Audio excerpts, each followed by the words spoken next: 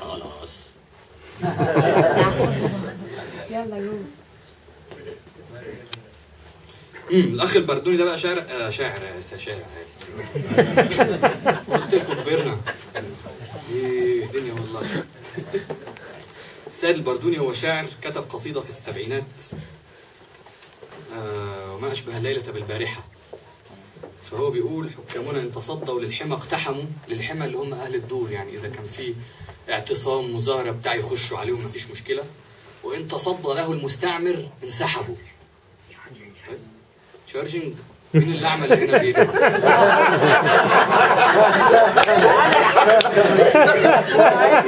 عايزة يا مصطفى مولانا انت اللي ما انت مش اعمى طب مشغله ليه ده؟ هو بيشحن لك تليفونك. بيتكلم بيشحن لك ولا تليفونك بتراعي المستقبل ولا إيه؟ حاجة كده لك المستقبل مش مضمون لك ربنا يعميك لشبابك يا ابني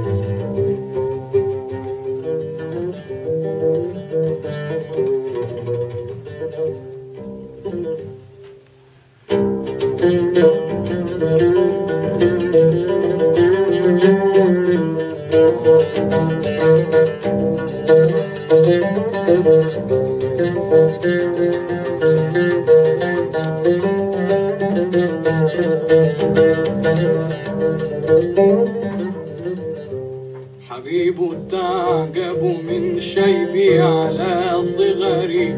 إني ولدت عجوزا كيف تعتجب؟ حبيب تعجب من شيبي على صغري. إني ولدت عجوزا كيف تعتجب؟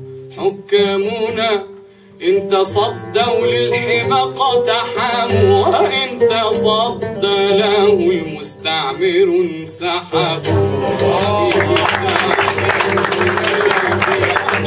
صغري إني ولدت عجوزا كيف حكامنا إن تصدوا للحمى وإن له المستعمر انسحبوا. هم يفرشون لجيش الغزو أعينهم. هم يفرشون لجيش الغزو أعينهم. هم يفرشون لجيش الغزو أعينهم. هم يفرشون لجيش الغزو أعينهم. ويدعون وثبا قبل أن يثبوا الحاكمون وواشنطن حكومتهم اللامعون ولا شعوا ولا غرب. الحاكمون وواشنطن حكومتهم اللامعون وما شعوا ولا غرب. القاتلون نبوغ الشعب ترضية للمعتدين وما أغنتهم القرب. الحاكمون وواشنطن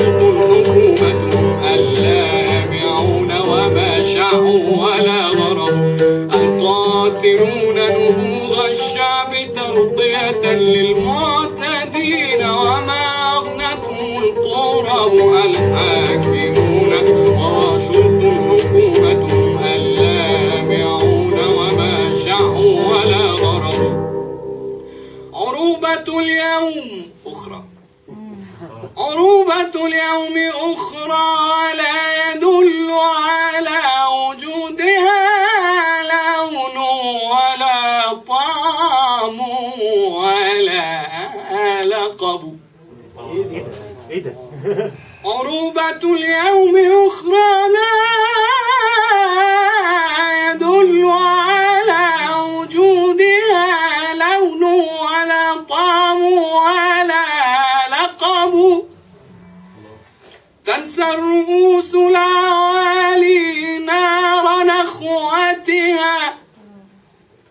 تنسى الرؤوس العوالي نار نخوتها إذا انططاها إلى أذنابها